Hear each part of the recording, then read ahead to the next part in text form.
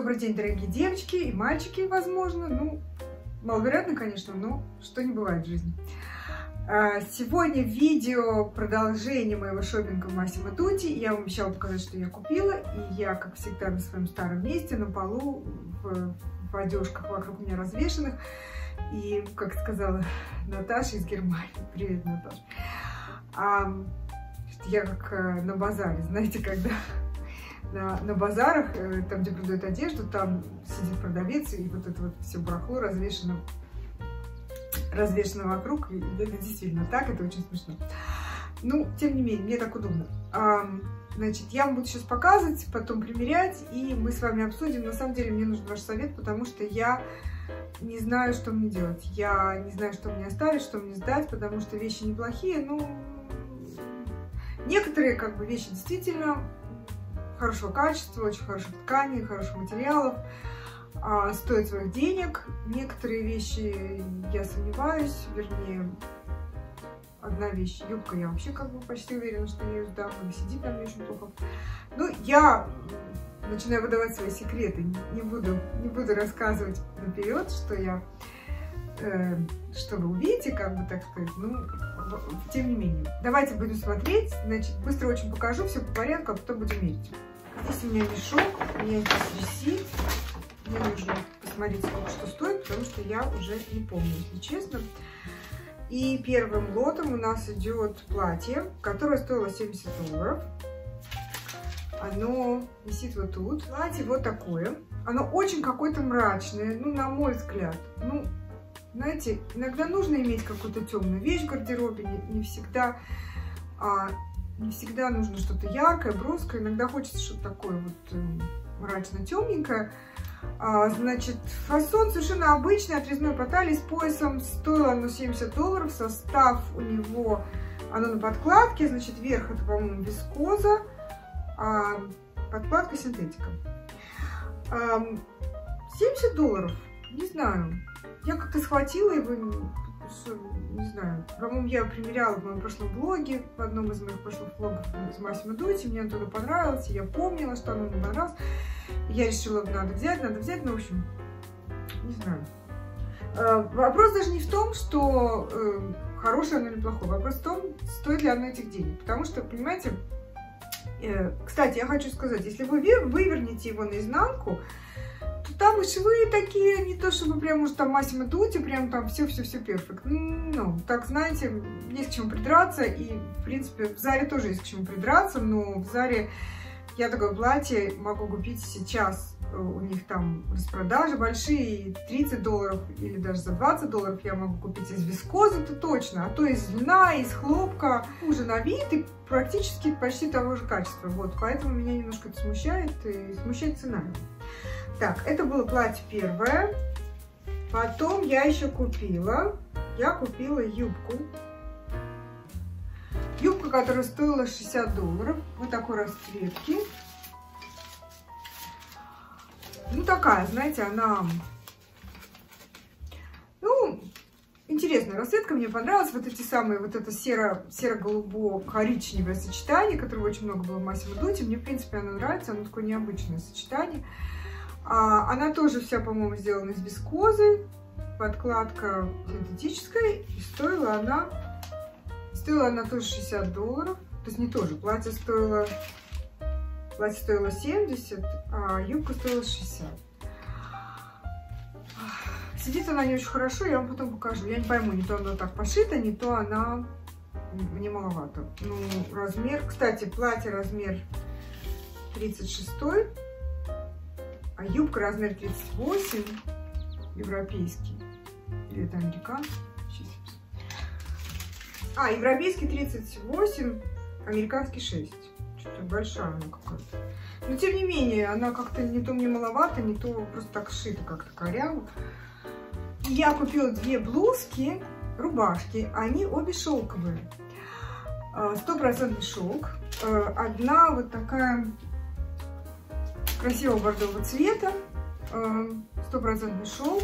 Мне она нравится, она стоила 50 долларов, что, в принципе, для шелковой блузы не так уж и много. То есть я считаю, что, в принципе, за 50 долларов вполне себе, ну, как бы, хорошая цена. чистый шов. Это одна вещь. И вторую шелковую блузку, вот вы видите, она здесь висит. Она вот такого цвета э, горчичного. Она стоила, она стоила 40 долларов, и она такая, знаете, полупрозрачная, но в ней есть э, подкладка.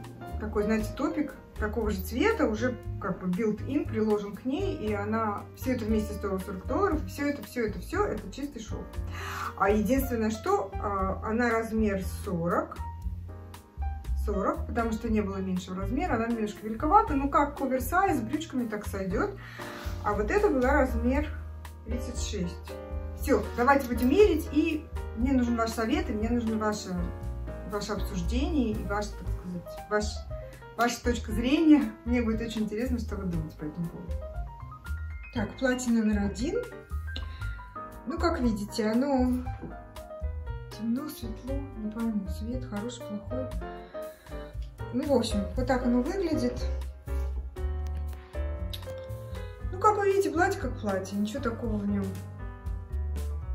особенного нету, но в то же время оно, конечно, неплохое, оно неплохо сидит, немножко мрачноватый. Я бы сказала, что он немножко мрачноватой расцветки, на мой, на мой взгляд, человека любящего яркое, все яркое и такое, знаете, разноцветное. Э, вопрос только в том, выглядит ли оно на 70 долларов и стоит ли его оставлять, потому что, в принципе, за эти деньги я могу купить э, три платья. Мне не нужно три платья, но, в принципе, знаете, все имеет свою цену. То есть, если вещь как бы она стоит того или нет, вот это вот вопрос. Еще раз повторюсь, если кто меня смотрит первый раз, я продолжаю работать из дома, поэтому вот там сзади вот эти вот компьютеры и бумажки, и чашка моя, в общем, вот это все. Каждое, каждое видео я это говорю, чтобы люди не думали, что у меня какой-то там беспорядок. Не дай бог, кто-то подумает, что у меня беспорядок. Итак, выношу на ваш, на ваш э, суд платье номер один. Что вы думаете? Имеет ли оно место быть оставлено или мне его отнести назад.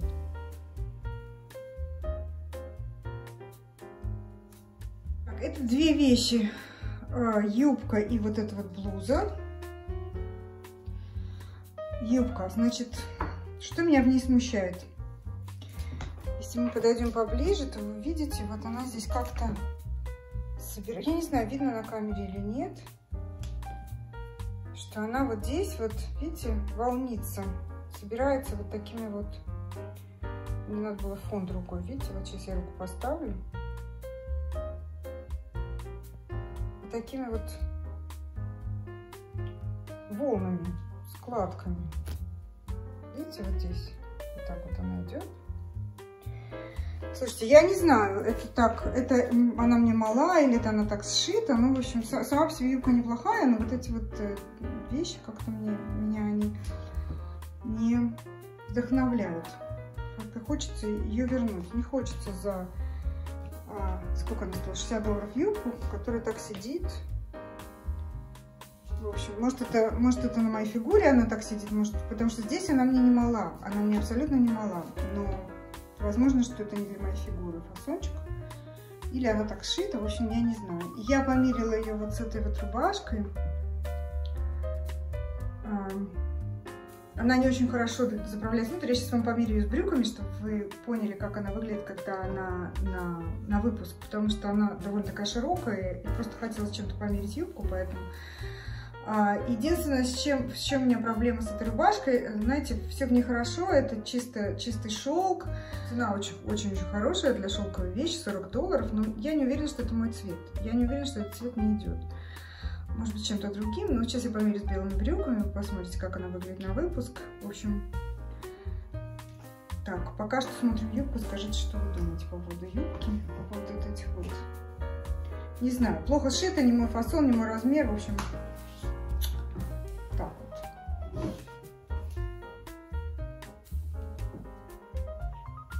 Ну вот, я померила рубашку с белыми брюками, с белыми джинсами. Она довольно широкая, но, по-моему, вполне для, для рубашки на выпуск она вполне хорошо выглядит. Еще раз, это чистый шелк, э, неплохой фасон, тут карманы. Единственное, вот я говорю, что меня смущает этот цвет. Я не уверена, что это цвет, который мне подходит. Может, просто я привыкла к более ярким цветам, и мне как бы, ну, я себя чувствую комфортно. Не то, что комфортно, но а, что я лучше выгляжу в ярких цветах, мне кажется. А это такой цвет приглушенный, довольно такой спокойный. Хотя, не знаю, может и неплохо. Что вы думаете?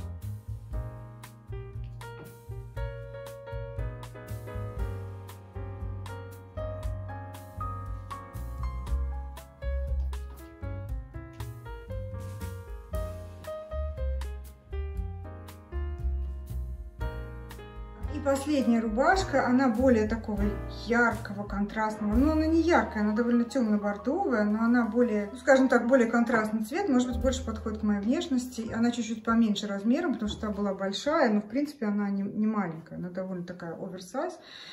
А, тоже вот я ее надела с белыми брюками, чтобы уже не мудрствовать особенно. Это тоже чистый шелк. Стоила она 50 долларов. Обе они, и та, и эта, потрясающе приятные на ощупь, потрясающе приятные к телу. Ткань очень-очень приятная, никаких у меня претензий нет. Единственное, что я, конечно, знаю, что вот эта ткань, если на нее что-то капнешь, и на ту, кстати, тоже, вот, такого, такого качества ткань, в ней надо кушать очень осторожно, а лучше вообще не кушать, потому что я знаю, что если на нее что-то капнуть, то она как бы пятно сразу расползается. То, что он такой шелковистый, видите, она такая такое качество шелковистого, как такой бархатистый шелк. Я даже не знаю, как это назвать. Тоже немножко она прозрачная, но не сильно. Почти что нет. Ну вот, это последняя покупка, последняя примерка. Все, жду вашего, жду вашего вердикта. Что вы скажете, девочки? Ну вот, все померила, все показала. Жду ваших комментариев, жду вашего обсуждения, жду ваших советов. Мне действительно они нужны, потому что я действительно не знаю, что мне делать, оставить, сдать. И как бы, ну, я знаю, что вы у меня все девочки э, очень э, с хорошим вкусом, понимаете, в одежде, разбираетесь. Поэтому вы меня смотрите, потому что вы это любите, вам это нравится. Иначе бы вы меня не смотрели. Я очень ценю ваши комментарии, очень ценю ваши советы, потому что они очень часто бывают очень дельные и очень правильные. Все, люблю, целую. Встретимся в комментариях, подписывайтесь на мой канал, ставьте мне лайки, но вы все знаете. Увидимся совсем скоро в следующем видео. Bye-bye.